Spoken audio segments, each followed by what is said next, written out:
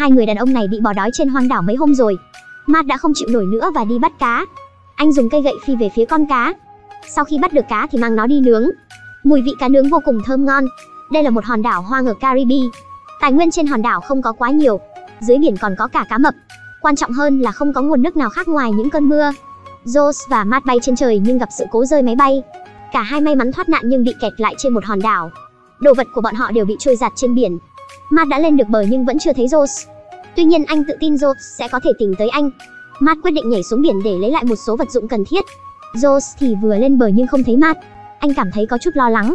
Anh vừa đi xung quanh bờ biển và vừa gọi tên Matt. Chưa có vị trí nào rõ ràng để cho anh quan sát. Rose thấy một vũng nước ư động lại. Có thể là do những cơn mưa. Đi một đoạn thì thấy một cái cây khá cao.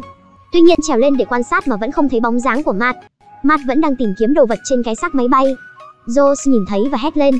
Matt. Cả hai đã tìm thấy nhau. Jobs cũng đi xuống dưới để giúp Matt tìm đồ. Bên trong có khá là nhiều thứ có thể giúp ích cho hai người. Thủy triều đang dâng lên, cả hai cần nhanh chóng lên bờ ngay sau khi lấy đủ đồ. Quan trọng là bây giờ phải đi tìm nguồn nước. Cả hai lên bờ và kiểm tra những thứ mình vừa lấy được. Sau đó Matt check xung quanh xem có nơi nào phù hợp để dựng lều hay không. Tại đây là bờ biển nên phong cảnh rất đẹp. Jones thì đang đi tìm nguồn nước. Anh tới cái vũng nước vừa nãy để thử xem nước có uống được không. Nước quá mặn, có lẽ đã ngấm nước biển và không thể uống. Anh chỉ đành suy nghĩ cách khác. Matt thấy mặt Rose khá buồn, anh đã biết kết quả là gì. Cả hai đành phải dựng trại ở đây trước đã. Họ xuống biển để lấy cái cánh máy bay lên. Bởi vì bên trong có nước động lại nên rất nặng. Cả hai mang nó lên bờ để làm một cái bức tường chắn gió đêm. Đáng tiếc là vẫn chưa tìm thấy nguồn nước.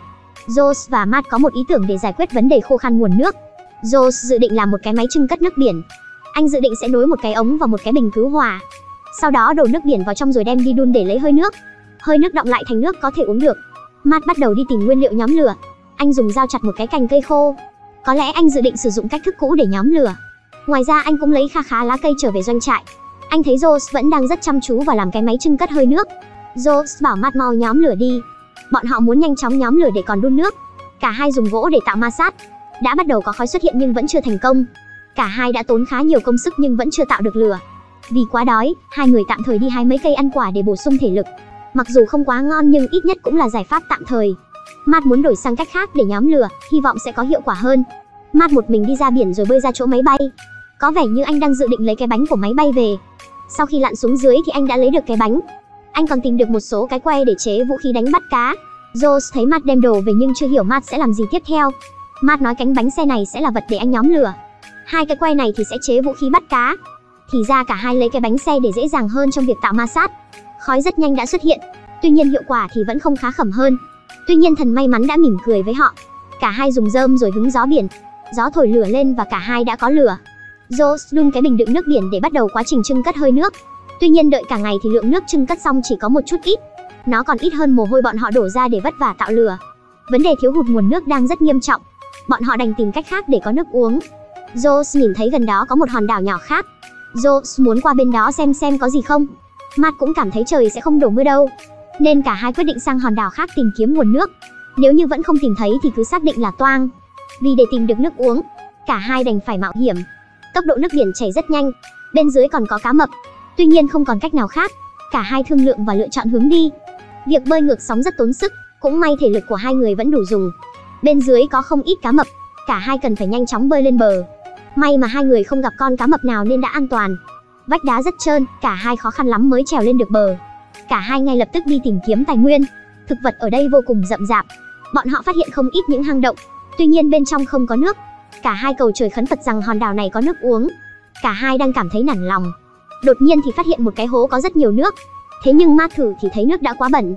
Hôi quá ông bạn à. Rose dự định sẽ cắm trại tại đây. Tuy nhiên, tại đây rất khó để tạo ra tín hiệu cầu cứu. Matt cũng cho rằng như thế. Cả hai chỉ đành lấy nước này về đun. Cả hai bơi quay lại doanh trại cũ. Trời vẫn chưa tối, cả hai liền tạo ra tín hiệu cầu cứu bằng cách cắm cờ. Bọn họ còn lấy phần đuôi của máy bay lên bờ. Hy vọng sẽ có ai đó chú ý thấy. Bận bịu cả ngày, cả hai đã rất kiệt sức. Bọn họ dự định sáng mai sẽ đi bắt cá về ăn vì đã quá đói bụng. Sáng hôm sau, Matt bắt tay vào chế tạo vũ khí để bắt cá. Anh chế tạo một cái mũi giáo, hy vọng sẽ có hiệu quả. Sau đó anh ta ra biển và quan sát bên dưới có một con cá to. Anh chọc gậy xuống nhưng đã hụt. Anh tiếp tục di chuyển để tìm kiếm. Ở phía xa, anh đã phát hiện ra thêm một con cá.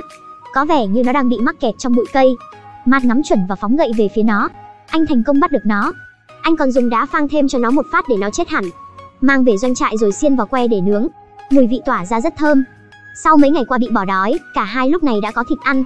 Cả hai cảm giác cơ thể đã ổn hơn nhiều rồi. Chỉ có điều một con cá là chưa đủ để hai người no bụng.